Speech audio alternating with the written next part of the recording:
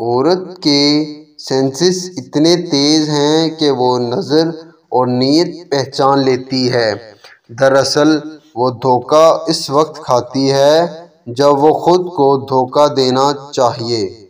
चाहिए।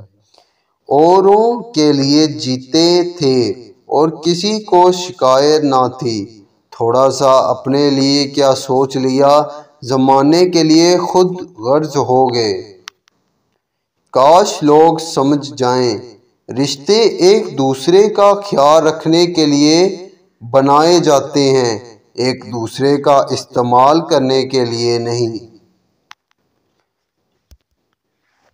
किसी की मीठी बातों का ये मतलब हरगिज़ नहीं होता कि आप उसके लिए ख़ास हैं। बाद कबूतरों को खिलाने के लिए नहीं बल्कि पकड़ने के लिए भी दाना डाला जाता है।